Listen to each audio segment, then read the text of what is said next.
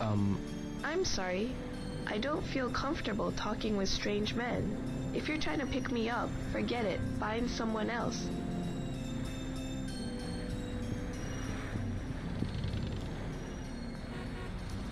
excuse me.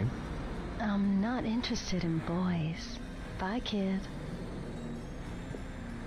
Oh, you mean like um um um? Right.